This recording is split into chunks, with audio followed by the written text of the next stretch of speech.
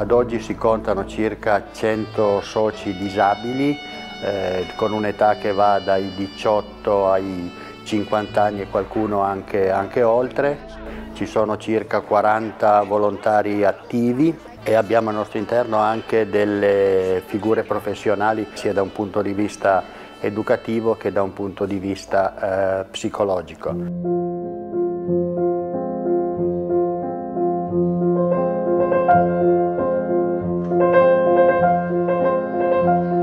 Progetti che riusciamo ad attivare eh, nascono o eh, in autonomia ma eh, quello che è più bello è il, il lavorare in rete con i servizi sociali, con i centri di servizi del volontariato, con dei privati, con delle fondazioni.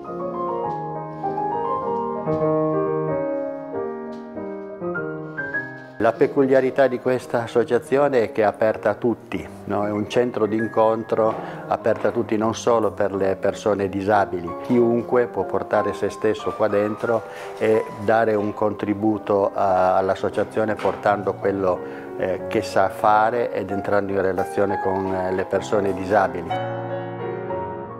Noi adesso stiamo anche cercando di partecipare a quelli che sono i tavoli istituzionali, chiamiamole così, con amministrazioni, con i servizi eh, sociali per eh, le tematiche eh, del lavoro, dell'autonomia abitativa, perché queste sono un po' le richieste che eh, stanno sviluppando i ragazzi e stiamo lavorando molto su queste tematiche qui con gli enti istituzionali dedicati a queste eh, problematiche. La proposta di un'associazione è stata fatta proprio da Fabrizio Brusa, disabile.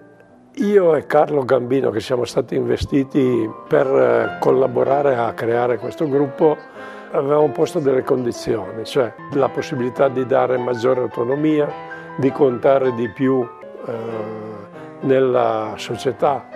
È cambiato molto, anche se non siamo ancora a eh, quello che vorremmo che fosse la, la società nei confronti dei disabili. All'interno dell'Associazione Audido sono state attivate in questi anni dei laboratori, delle attività dove eh, la persona diversamente abile potesse innanzitutto cercare di comprendere quali capacità e quali risorse personali poteva mettere in gioco per fare determinati lavori e determinate azioni torna indietro, girati, girati.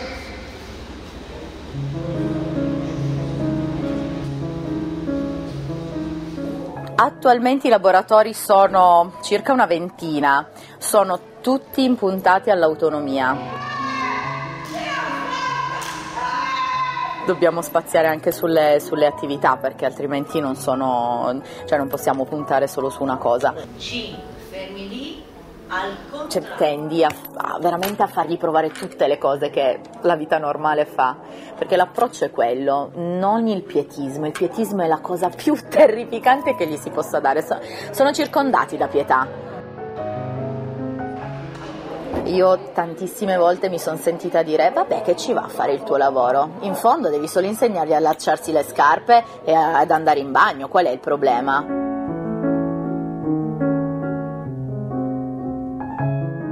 Questi che abbiamo adesso sono tre tipologie totalmente differenti, mentre Luca, che è cresciuto con me come allievo, è riuscito a diventare terzo dan e istruttore, è ipovedente. Questo dimostra che non ci devono essere limiti per nessuno. Vengono in palestra, sono atleti. Sappiamo benissimo cosa non potranno mai fare, ma non glielo dobbiamo dire, dobbiamo pretendere che ci provino. Quindi fare arti marziali non vuol dire insegnargli a picchiare, vuol dire avere fiducia nei propri mezzi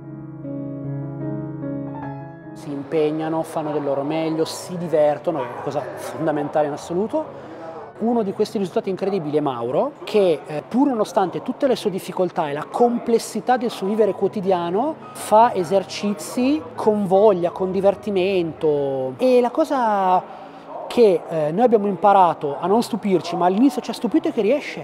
Questi ragazzi hanno bisogno di fare attività, qualunque sia, che gli fa bene al fisico, gli aiuta a coordinarsi, li sveglia a livello mentale, perché fare sport comunque ti tiene attivo, quindi devi coordinarti, devi usare la mente e questo può aiutarti moltissimo.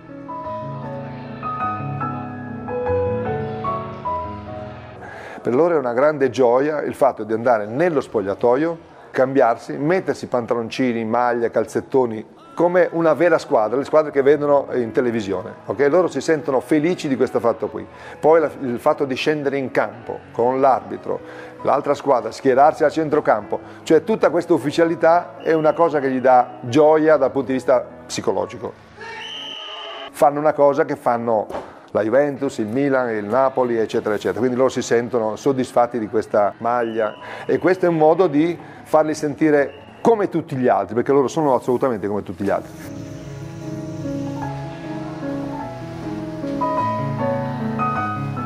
A un certo punto ti deve guardare e dirti ciao, io faccio da solo, tu non mi servi più. Quando quella persona ti arriverà a dire questo vuol dire che tu hai fatto un buon lavoro.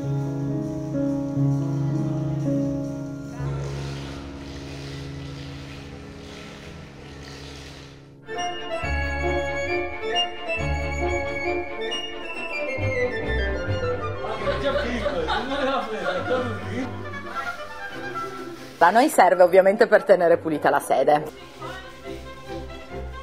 Però lo facciamo fare ai ragazzi perché ehm, è improntato sul imparo a fare.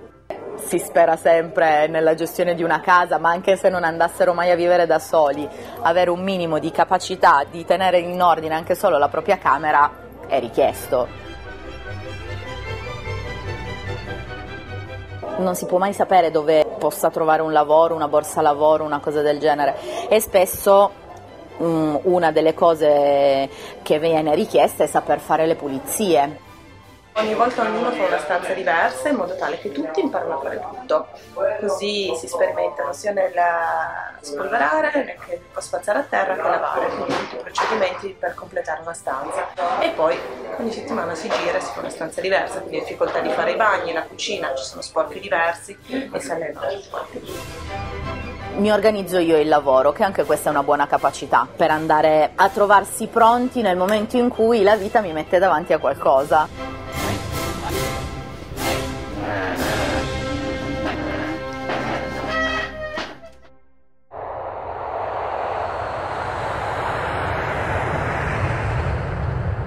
Abbiamo imparato il check-in, come fare il biglietto e poi l'imbarco per quando si salirà sull'aereo. Ci sono diversi ragazzi, come ho detto, ovvero una ventina.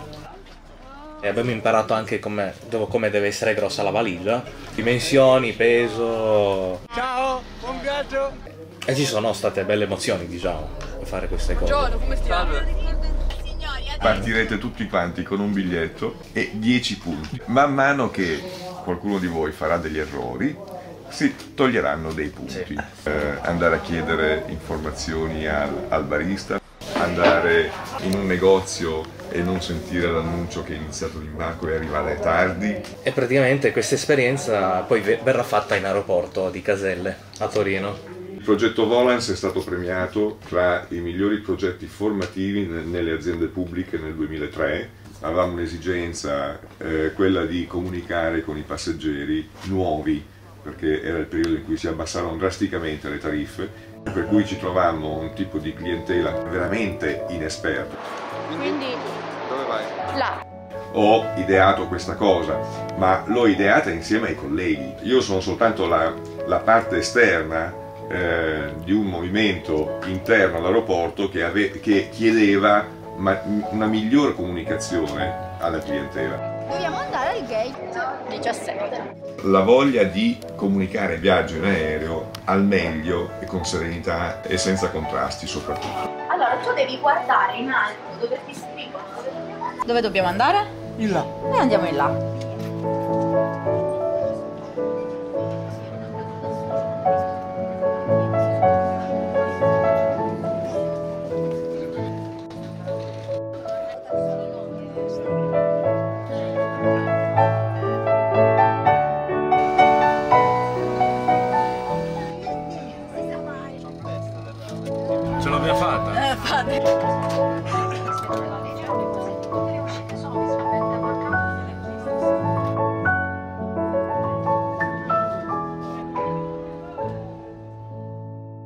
Una persona diversamente dotata molto spesso passa dall'ordine definito dalle famiglie di origine all'ordine definito dalle comunità terapeutiche e spesso passa la sua vita senza verificare o vedere quale tipo di ordine voleva dare alla propria vita, quale tipo di ordine avrebbe desiderato per sé.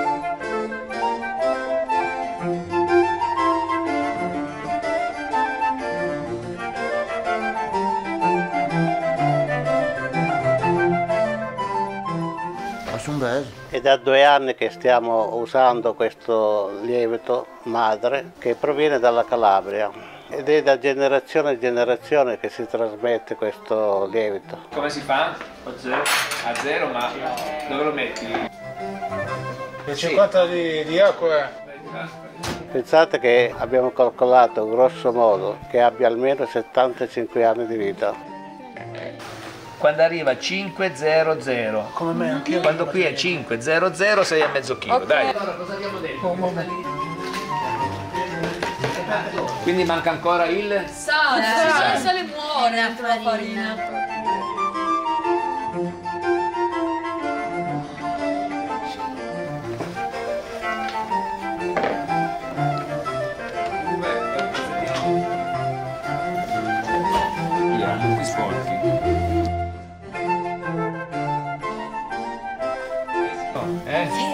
Brava.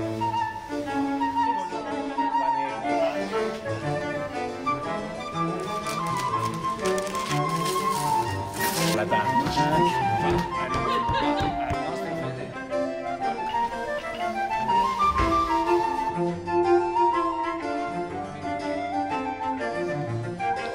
Va bene. Brava, Cri.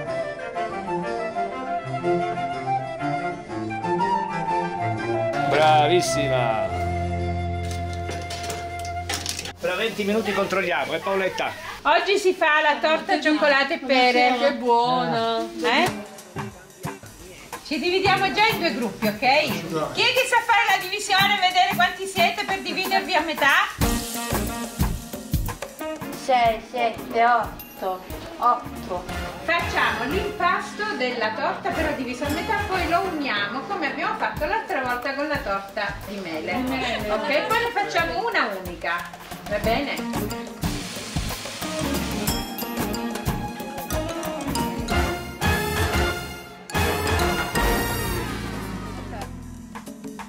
Madonna che profumo ragazzi!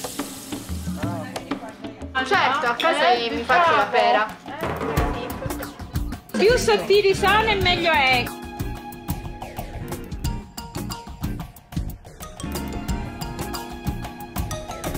Tutta bagnala, poi sgocciola.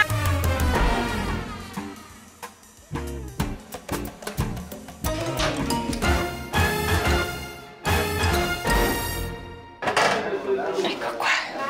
Dai, esteticamente è anche bella, Bene, no? Sì. Ecco qua il vostro capolavoro.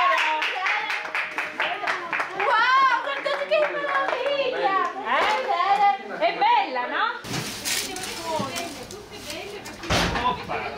Ci sono delle persone che non riusciranno mai a contare il denaro perché c'è una compromissione cognitiva, il cervello non ha un pensiero simbolico e quindi la matematica non, non riuscirà mai ad essere una materia che, che, viene appresa da alcune persone. Conosciamo zucchine? Le zucchine no, no non sono di stagione. Broccoli?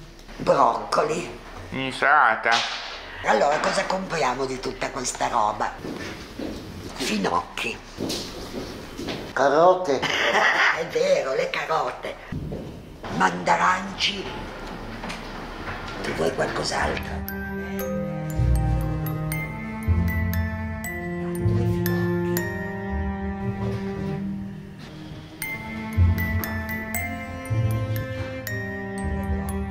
Facciamo la lista della spesa.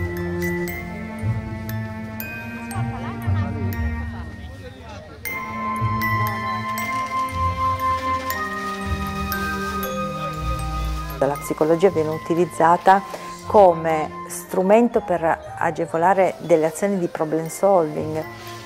Tieni qua, non è un euro di moneta.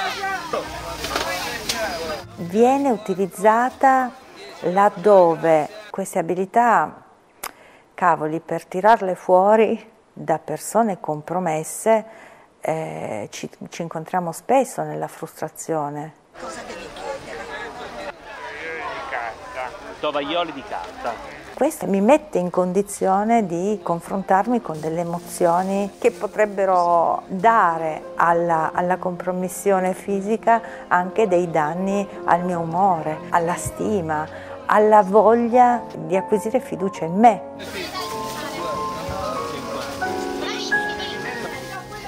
È proprio difficile vedere che mentre gli altri riescono a calcolare 132.683 più 13 uguale a, mentre io, per quanto mi sforzi, ho una compromissione cerebrale tale per cui 1 più 3 non riesco a farlo. Giusto o sbagliato secondo me?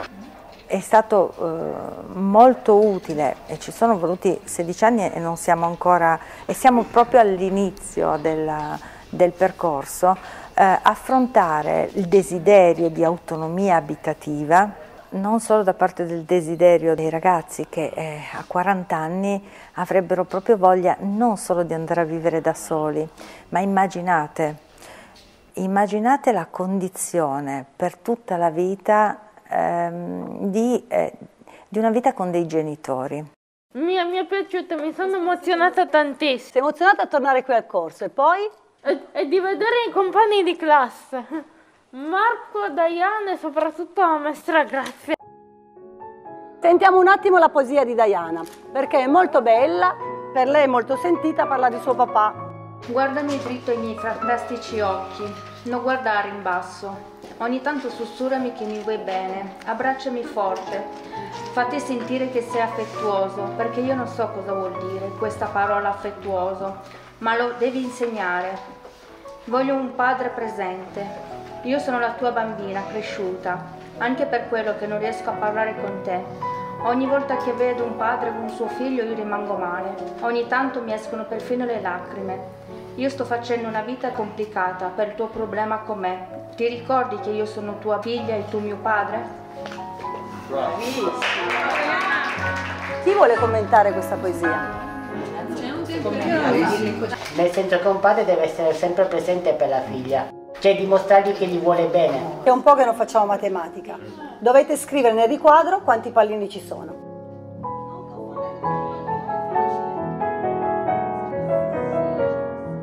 Il secondo invece dice di colorare tutti i numeri minori di 10 di giallo.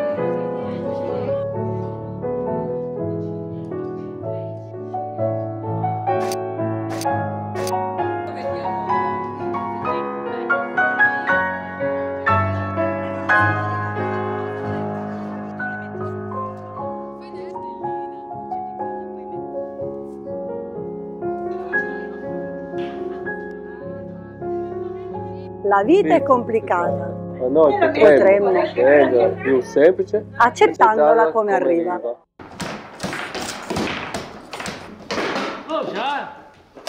Io affido il mio figlio fragile e devo affidarlo essendo sicura di qualcosa che, eh, che certezza non ha. Voglio essere sicuro che non si faccia male, perché essendo un figlio fragile io l'ho già visto soffrire e non voglio che si faccia ancora male. E in più devo essere disposto ad avere un figlio che ti affido e che quando torna a casa sarà diverso, potrà anche avere delle esigenze e dei desideri nuovi che scombussoleranno il mio entourage familiare. Nel gruppo Parola abbiamo imparato che tutti possono dire e tutti devono essere ascoltati. In base a che cosa secondo voi? Delle regole delle regole. Bisogna comportarsi bene con, e dare rispetto uno con l'altro. Ok. Cosa succede se a 40 anni, a 35 viviamo ancora in casa? Se vogliamo andare a vivere da soli dobbiamo essere autonomi prima e secondo avere un lavoro. Quando si vive ancora con i genitori questa casa nella quale abito non è così facile sentirla a casa nostra. Tua. casa tua, dove mi sento libero di invitare i tuoi Amici. Lorenzo forse è l'unico che invece la sua mamma la casa sua gliela lascia anche con chi? Con la fidanzata. Quando si cresce bisogna comunque gestire tu- tutto quanto in una, in una maniera diversa. Ok, non abbiamo fatto solo laboratori creativi e di intrattenimento. Sia Keivan che Lorenzo hanno detto io prima non ero in grado di, ok, ma se io non provo mai sarò in grado di... Questi laboratori che abbiamo fatto possono essere degli elementi che adesso fanno sì che Keivan e Lorenzo riescano a tenerlo questo lavoro. Sì. Mm? Se invece loro due rimanevano a casa a non fare nulla, La mamma mi avrebbe cacciato di casa, mio papà mi avrebbe preso a calcio. sul lavoro Federica o sulle cose che vuoi imparare per diventare autonoma. Lavorare. Eh. Lavorare. Ah, Mio papà. Con tuo papà ti piacerebbe? Io ho fatto la prova, stare in un alloggio da sola per tre mesi, grazie a voi per questa opportunità e adesso io sto dando una mano a casa, vado a fare la spesa, faccio i conti bene, però mi sento orgogliosa di me stessa. I laboratori ci permettono di metterci alla prova rispetto a alcune cose. E poi Lorenzo sta dicendo, occhio ragazzi, che i normali là sopra, là fuori, quelli che definiamo tali, non sempre si fidano ancora di noi. Poi qual è l'altro elemento che ci vuole per stare nel mondo? Il saper stare assieme Ah, ci sono delle attività che ci aiutano o no? No. No. No. Sì, le attività sportive, il judo, Judo, nuoto, nuoto, il calcio, calcio. tennis, perché sei sempre in, in compagnia alla fine. Divertirsi, anche se non si vince. Perché l'ultimo lunedì abbiamo perso 7 a 3, però ci siamo divertiti lo stesso. aiutare gli altri come volontariato e aiutare gli altri a fare le pulizie, diciamo. Io ho fatto tanti voucher, però li ho persi anche. E i voucher ti hanno permesso di stare co- qua o anche fuori? Fuori. Di farci conoscere anche un po' sul territorio. Per noi a volte diventa difficile un lavoro banale. Ho chiamato il pizzaiolo e ho prenotato due o tre giorni prima, ci ha tenuto i, po- i posti per noi e boh, Io non mi sono sentita nella pizzeria con i titolari che, poverini questi disabili, facciamoli pagare meno. Eh, mi ho pagato solo la pizza e il belli, come cavolo si chiama? Invece la focaccia, la farinata e il caffè ce l'hanno offerto. Qual è stato il- la cosa che, vi ha fa- che ci ha fatto fare lo sconto? Il fatto che vi conoscessero come persone, non come poveri disabili sfigati. Da giugno che vengo e mi trovo bene, molto bene anzi. Condivido questi discorsi, certo. Eh, cosa ne pensi tu? Hai qualche idea in particolare? Si fanno le cose gradatamente, per gradi, e- piano piano. Io ho lavorato per sei mesi in una cooperativa, poi dopo i sei mesi ci hanno lasciato a casa. Ci facciamo le orologi che si attaccano eh, su- sui mu- muri. contenta di come sono migliorata col coltello. Mi piace tagliare la cipolla. È importante poter avere un posto dove mi posso incontrare con i miei amici, perché Certo. prima abbiamo detto che ci vogliono degli anni per poter invitare un amico a casa. Io ho invitato Gian, Andrei e- e Diego a casa mia. In tanti così, e molto spesso siamo anche in più persone, e riuscire a parlare uno per volta, a rispettarci e ad esprimere le nostre idee, è una grande lezione di rispetto nei confronti dell'altro. Se voi adesso non rimaneste zitti non potrei parlare. Ci stiamo dando delle regole che hanno consentito a tutti quanti noi di relazionarci in modo migliore.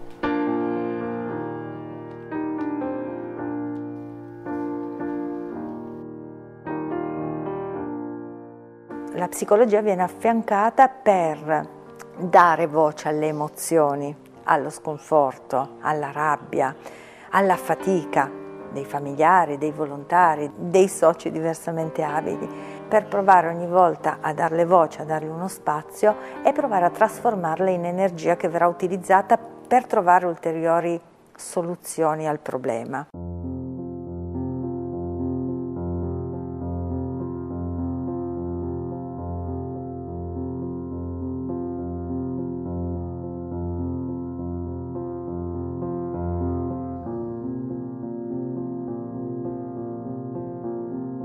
Abbiamo chiuso formalmente il libro. Eh, abbiamo scelto la carta per la copertina, avranno delle alette no? in cui in una si spiega che cos'è l'alfabeto, ci sarà questo disegno che sul blu rende particolarmente anima, bisogno, corpo, doppio. Tinto di rosso il viso e accesi gli occhi. Il cuore palpita, pum, pum, pum. Lo voglio a tutti i costi, e subito, e ora, e qui. È il solo mio presente.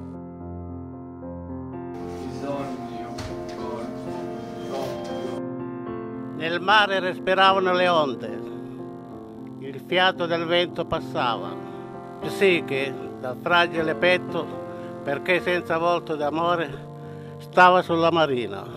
Partecipe e testimone, tieni il ritmo di ciò che scorre. E tutto sai di me, tu, custode del respiro. Ti srotola la musica del tempo, fedelissimo mio, custode delle ceneri esala dalla scala inclicine, perché felice la terra in se stessa.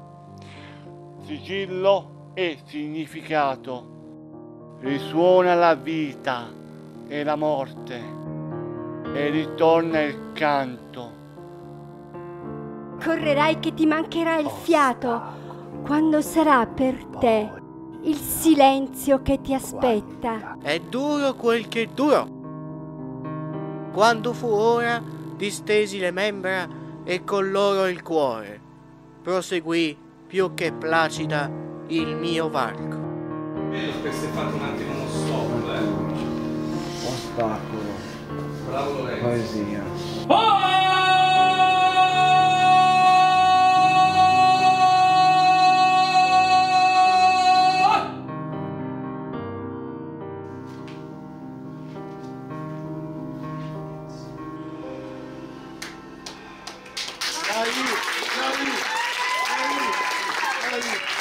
È